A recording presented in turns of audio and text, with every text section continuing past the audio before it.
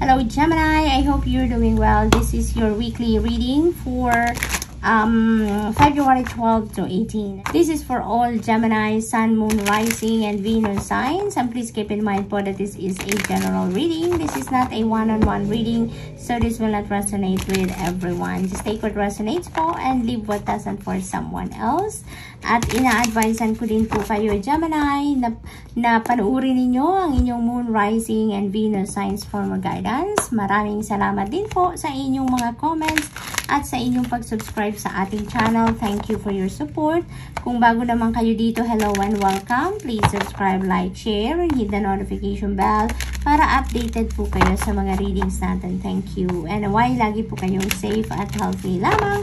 Yun po ang aking laging dasal para sa inyong lahat, Gemini. So, yung message po ninyo ay number 61, self-love. Ayan, Gemini. Ang panawagan sa inyo ngayon ng spirit is uh, self-love. Okay?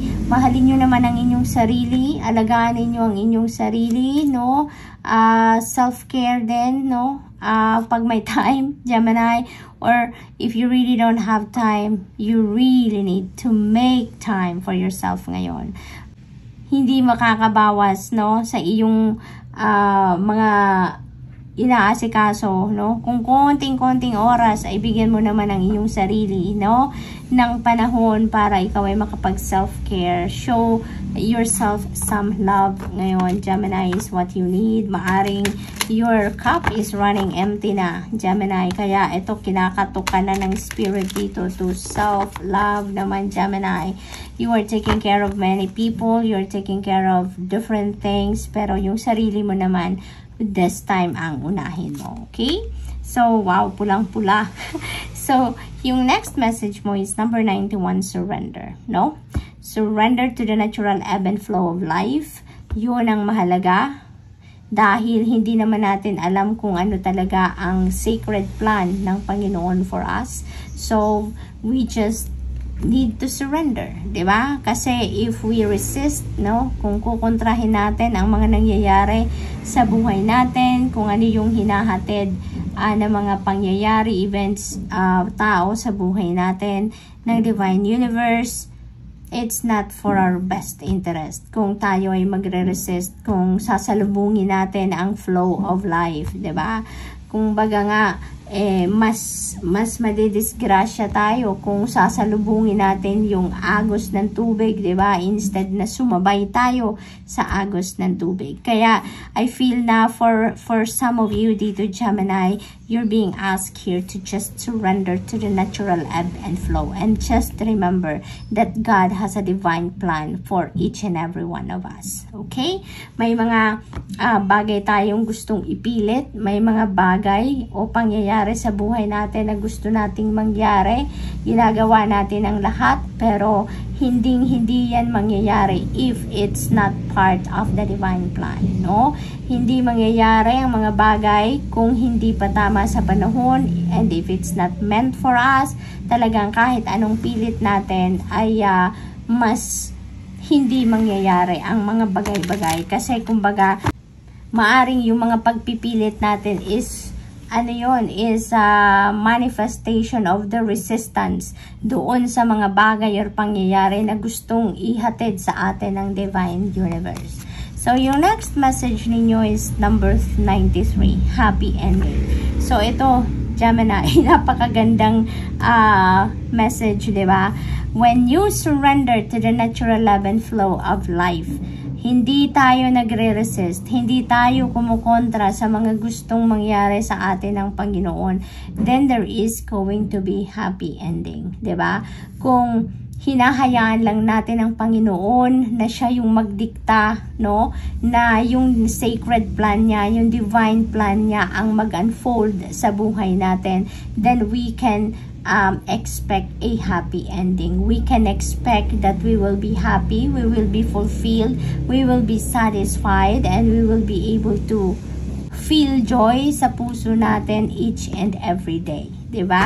Kaya ito, may mga happy ending na magaganap sa buhay ninyo, Gemini, provided that you are going to just surrender to God. Surrender to the natural ebb and flow of life.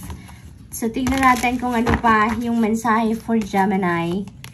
We have the Emperor. Everything will be back in order. No, Gemini, everything will be back in order. Everything will be in its right place is what I am picking up dito. Kasi maaring uh, yung mga nakaraang araw, nakaraang weeks, nakaraang buwan, taon, no? May mga bagay ka na maaring na-neglect no?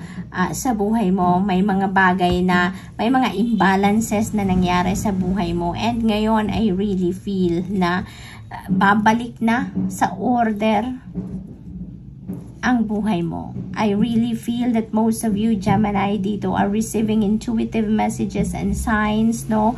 And you are listening to them. You are listening to the guidance of God. You are listening to your intuition. Kaya eto na, unti-unti nang gumaganda ang mga ganap sa buhay mo things will be back in order, you will be back to your center, you will be back to focus, and maganda lang, you are going to manifest dito financial flow, financial abundance, maaring yung focus mo ngayon will be your family and relationships, no?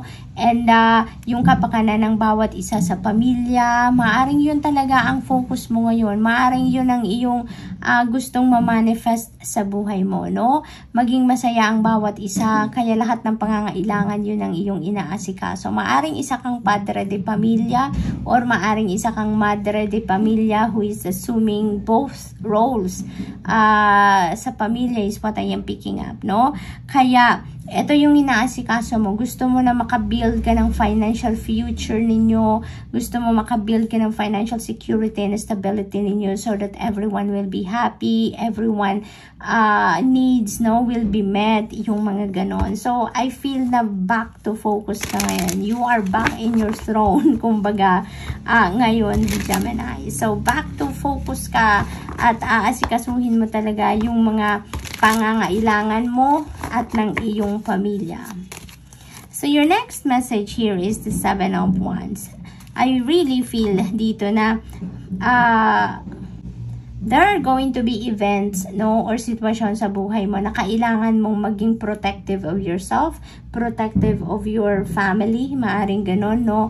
Because I feel na you are surrounded with low vibration people. Maaring sa trabaho ito, sa career, maaring may mga ganong sitwasyon. Kaya uh, I feel na nag nagwo-worry ka no? Nagwo-worry ka, maaring naaapektuhan ka dito sa mga maaring parinig ng mga katrabaho mo. It's because maaring inggit lang yan sa'yo. Maaring Gemini, you are an accomplished person. Maaring ikaw ay successful, no? Sa iyong mga ginagawa. Maaring magandang performance mo sa trabaho. Maaring um, nasa mataas ka na posisyon sa iyong trabaho or sa inyong community, maaring respetado kang tao, yung iyong pamilya, respetado.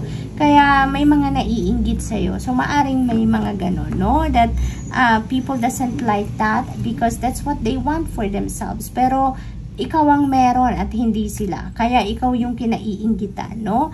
But uh, yung advice dito, Gemini, just just remain to be humble, no? Just remain to be humble. Uh, don't uh, entertain those distractions sa buhay mo dahil baka maapektuhan ka pa niyan. Instead, uh, try to uh, surround yourself with happy people, with uh, positive thinking people. Surround yourself with people na uh, will give you inspiration kung baga, no? Na mas mamamotivate ka pa, mas mai inspire ka, no? Instead na negativity ang hatid sa'yo, ang ihahatid ng mga taong ito is positivity. Mahahawa ka ng positive vibe ng mga taong ito. Kaya, isurround mo na lang yung iyong sarili ng mga, mga ganong klaseng tao, no? At try to avoid those negative vibe people. Try to um, protect your energy field, protect your energy, no, by surrounding happy people, no, sa buhay mo. So, tingnan natin kung ano pa yung yung final message. Final message mo is judgment. So, uh, there is a, a uh, important decision na pag uh, uh, focusan mo ngayon, Gemini. I really feel that this is an important judgment call for you because maaring uh, this is about finances. This could be about family, relationships. This could be about love and romantic relationships. It could be anything, no? This could be about career, trabaho, no? Na importanteng pagdesisyonan mo. But whatever the case may be dito, Gemini, I really feel na uh, in the past, maaring hindi mo to pinapansin, maaring uh, ini-ignore mo ang sitwasyon na to. But now, talagang kailangan mo na siyang pansinin. Kailangan mo na tong i-address ngayon, no?